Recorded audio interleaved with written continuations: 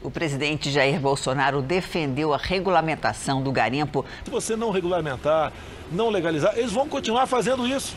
O desmatamento na Amazônia cresceu quase 60% no governo de Jair Bolsonaro. O levantamento é do IPAM, o Instituto de Pesquisa Ambiental da Amazônia.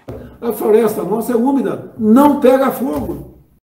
Com tudo isso acontecendo na Amazônia, o governo Bolsonaro acaba de baixar um decreto para legalizar a atividade criminosa do garimpo na Amazônia.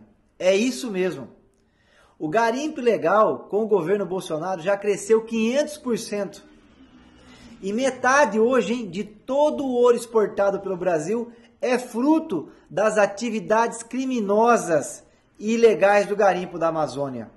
E aí, para coroar né, a cereja do bolo no governo Bolsonaro, em vez de fortalecer o IBAMA, estimular as entidades que preservam o meio ambiente, colocar a Polícia Federal, as polícias estaduais para combater o crime na Amazônia, não.